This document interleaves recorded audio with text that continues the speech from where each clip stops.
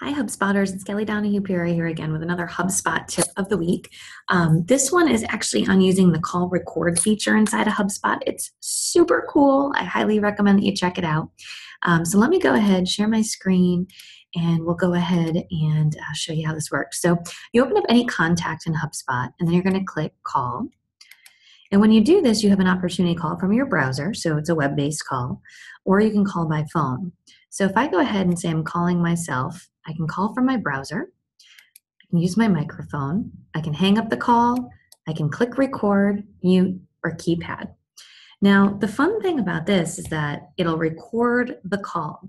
So, the one thing you have to make sure of is that you're in a consent state that's single, so only one party, which means you're consenting. Um, if you're in dual consent states, you do have to announce that it is a recording, and HubSpot has a handy guide here of what that looks like. Um, so if you take a look, like all of these states, um, 13 states have chosen to require all parties to consent, two parties here. So luckily I'm in Rhode Island right here, which isn't, but these are the ones that require two parties. But the rest of them are single party states, which means that you don't have to announce it. Super cool. But then what happens is it'll log the call in here. And uh, I can hang up my call right now. Automatically log the call. You can select an outcome, no answer, call type depending on what type of call it was. And then your actual um, manager can go in and listen to these calls.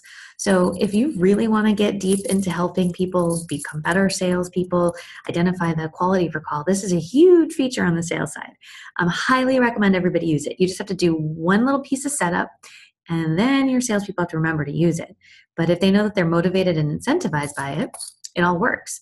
So you can see here HubSpot gave me a little call. I can listen to it right here um, and makes it super simple. Just another HubSpot tip for you guys. Thanks so much, and I hope you all have a great day.